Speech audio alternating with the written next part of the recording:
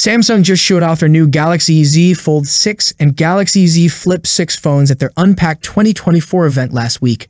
These are the only new foldable phones they've released this year. Earlier reports said Samsung might be making an Ultra version of the Galaxy Z Fold 6, but last week a rumor spread that this Ultra version was cancelled. Luckily, new information suggests that Samsung hasn't stopped working on it yet, so if you like the idea of an Ultra foldable phone, there's still hope. Our friends at Galaxy Club found new evidence that Samsung is still working on the mysterious Galaxy Z Fold model we're calling Ultra. They discovered that Samsung is testing new software for a device with the model number SMF958N. This test software is being used in countries with the codes KOO, KTC, SKC, and LUC. It's important to note that this test software wasn't on Samsung's servers last week, but is now. This means Samsung has made some progress with the Ultra model. However, there's never a guarantee that a product will be sold until it's officially released, so we'll have to wait and see what happens. Another thing to remember is that the Galaxy Z Fold 6 Ultra might be made just for the South Korean market.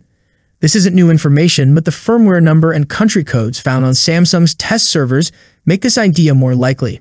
All the country codes are for South Korea. Even if Samsung plans to release a new foldable phone, this mysterious Galaxy Z Fold device probably won't come out before the end of the year. Right now, the Galaxy Z Fold 6 is the best foldable phone you can buy. But if you want a flip phone, the Galaxy Z Flip 6 is the best choice. The Fold 6 has a new slim design and impressive features like the Snapdragon 8 Gen 3 chip and a bright 2600 nits LTPO foldable AMOLED 2X display. This year, the Z Fold's hinge and armor aluminum frame are stronger and the foldable display crease is less noticeable. The phone now has an IP48 rating instead of IPX8. What do you think about the Galaxy Z Fold 6 Ultra? Let me know your thoughts in the comment section. Also, the Galaxy Z Flip 6 and Z Fold 6 breaking pre-orders record in India. Samsung started taking pre-orders for their new foldable phones, the Galaxy Z Flip 6 and Galaxy Z Fold 6 in India last week. In just one week, the company announced that these phones have received more pre-orders than ever before. This is great news for Samsung because it means more people in India are interested in buying foldable phones. The Galaxy Z Flip 6 and Galaxy Z Fold 6 have gotten 40% more pre-orders in India than the previous models. Samsung shared this information on its official news page. These new foldable phones are now the most successful Galaxy Z series devices the company has ever launched in India. Now let's check the Galaxy Z Fold 6 versus Z Fold 5 comparison. Samsung just released the Galaxy Z Fold 6 and it's got some exciting updates. It has a fresh new design, smarter AI features, and the powerful Qualcomm Snapdragon 8 Gen 3 chip, just like the one in the Galaxy S24 Ultra. Samsung has made improvements based on feedback from the Galaxy Z Fold 5. This new model is better built and has an IP48 rating, making it the first foldable phone to be both water and dust resistant. The Galaxy Z Fold 6 is now available for pre-order and Samsung is offering great trade-in deals and Galaxy Store credit to encourage you to buy it. But you might be wondering if it's better to get a cheaper or used Galaxy Z Fold 5 instead. What's the difference between the two phones? And is it worth getting the new one if you already have the Z Fold 5? Design and display quality. The foldable phone market has changed a lot since the first Galaxy Fold. Samsung has kept the cover screens tall and narrow, making them easy to use with one hand but not great for typing with two thumbs. Now, Samsung has made the Galaxy Z Fold 6 a bit wider with a 22.1 to 9 external display compared to the Galaxy Z Fold 5's 23 to 9. It's not a regular phone shape, but it feels more comfortable to use. The main screen of the Z Fold 6 has also improved. It has more protective layers and a redesigned hinge, making the crease in the middle less noticeable than on the Z Fold 5. The new shape of the Z Fold 6 with sharp corners gives it a modern look and feels like you have more space to work with.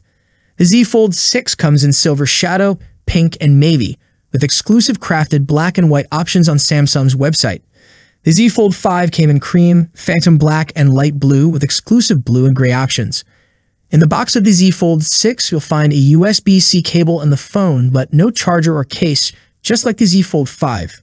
Both phones have sturdy hinges, but the Z Fold 6 is more durable with an IP48 rating, making it resistant to both water and particles. The Z Fold 5 has an IPX8 rating, meaning it's only water resistant.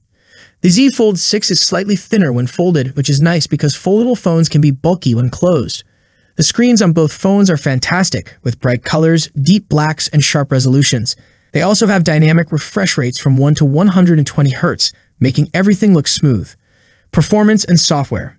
Samsung has been working closely with Qualcomm and now their flagship Snapdragon chipsets are specially made for Galaxy phones. This means they are a bit faster than the regular Snapdragon chips used in other Android phones. Samsung also uses this partnership to design better cooling systems for their phones.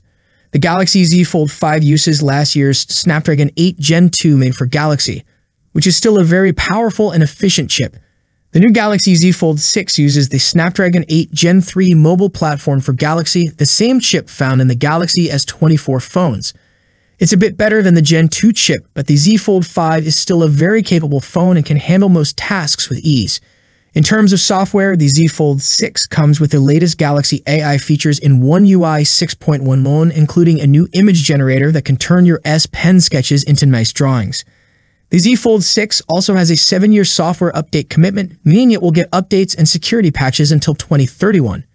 The Z Fold 5, on the other hand, has a promise of 4 Android updates and 5 years of support, so it will stop receiving updates about 3 years earlier than the Z Fold 6. Camera both the Galaxy Z Fold 6 and Z Fold 5 have similar camera specs, a 50 megapixel main camera, a 12 megapixel ultra-wide camera, and a 10 megapixel telephoto camera with 3x zoom. On the front, both have a 10 megapixel selfie camera. Inside, they both have a 4 megapixel camera under the display, mainly for video calls. The main difference in camera quality might come from the software. The Galaxy Z Fold 6 has the ProVisual engine from the Galaxy S24, offering advanced features like an excellent viewfinder, generative editing, portrait shot editing, and slow-motion video by holding the screen with a finger. Many of these features might also be available on the Galaxy Z Fold 5 through software updates. If there are any real differences in photo quality, it will likely come from how each phone processes photos after you take them. Battery life and charging. There haven't been any changes in the battery for the Galaxy Z Fold 6, it still has a 4,400 mAh battery, just like the Galaxy Z Fold 5. The battery life might be a bit different due to the new processor. The Galaxy Z Fold 5 had decent battery life, so this should be fine. Which one should you buy? Some might say the Galaxy Z Fold 6 isn't much different from the Z Fold 5. However, we appreciate the small design improvements and the 7-year software update commitment, which is a big plus for an expensive device like this.